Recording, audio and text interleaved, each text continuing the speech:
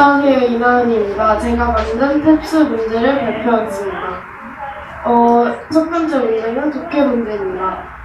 According to the researchers, the images and updates of a happy life by Facebook friends can lead some people to think that their friends' lives are better than their own.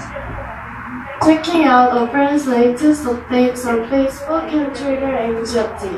먼저 이 질문을 해석하면 연구자들에 의하면 페이스북 친구들의 행복한 삶이 담긴 사진들은 몇몇 사람들이 그들의 그들 친구들의 삶이 그들 자신보다 더 낫다고 생각할 수 있다고 말- 밝혀졌습니다.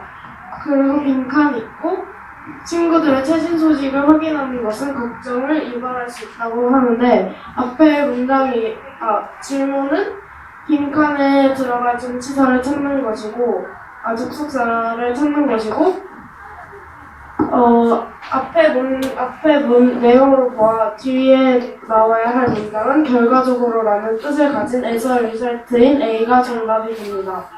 다음 문제는 문법 문제입니다. Socrates was discovered by Christian Pallas in 1989. It was named after a Celtic god in ancient Gaul and England. It travels at an average orbital speed of 16.69 kilometers.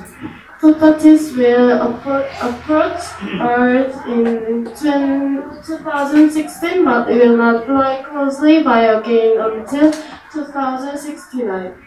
이것도 역시 질문을 먼저 해석하면 토타티스는 크리스찬 폴라스에 의해 1989년에 발견되었습니다.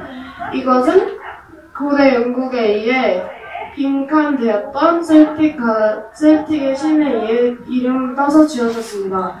이것은 평균 속도 16.69km로 이동, 이동 했습니다. 토타티스는 2016년에 지구에 접근할 것이지만 2069년까지 매우 가깝게 도달하진 않을 것입니다. 이것에 대한 질문은 빈칸에 들어가 알맞은 단어의 형태를 찾는 것이고 월십이라는 것은 어 외관은 다 까고 있어. 숭배.